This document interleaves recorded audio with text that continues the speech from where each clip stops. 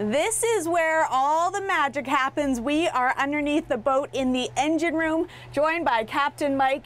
Mike, tell us, uh, where are we right now? Well, you're under the main dining, uh, after dining cabin of the Prairie Lily.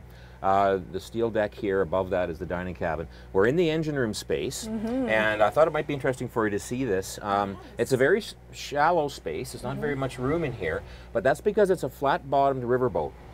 It's designed to have very little draft. It goes. It doesn't need a lot of water to float, okay. and that's because it's very short. So the ship has two main propulsion engines and a 25,000 watt diesel generator. Okay. The diesel generator is right there in front of you. That's a, it's actually a Northern Lights brand diesel generator, which is one of the better, better or best uh, uh, diesel generators that uh, you can get for a marine application. Okay. And of course our engines, we've just put two brand new engines in this ship this spring. Mm -hmm. So all our propulsion equipment exceeds environmental standards for emissions. Well, we are going to hop upstairs into the area where Mike drives the boat. Is mm -hmm. there a mm-hmm. name for that?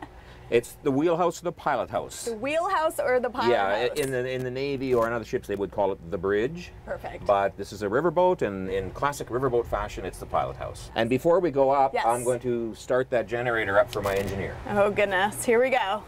So.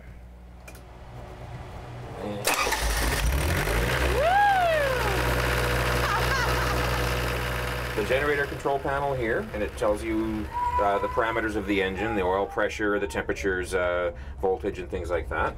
And then the main control panels for the propulsion diesels are here. Okay. And each panel will tell you the engine RPM, the engine speed.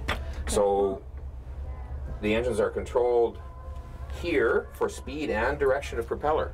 Okay. So if these handles are in the center there, that stop, the propellers won't turn. Okay. If you go forward, then the propellers will turn to push the ship forward. Okay. Or if you go backwards, mm -hmm.